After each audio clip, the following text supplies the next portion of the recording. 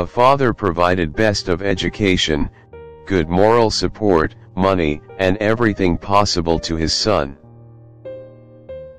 That boy becomes a top shot. His son gets a grand cabin in the best office of world. His father feels proud and very powerful. He visits his office. Son is sitting on his chair. Father goes to the backside, keeps his hands on the shoulders of his son. And father asks a question, who is the most powerful man in the world?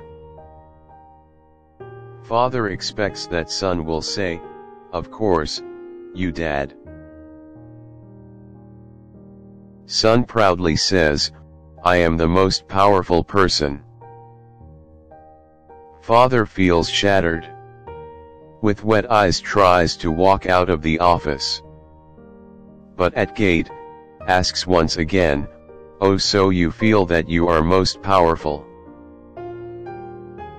Son says innocently, No, Dad you are most powerful. But couple of minutes back you said that you are most powerful. I said rightly.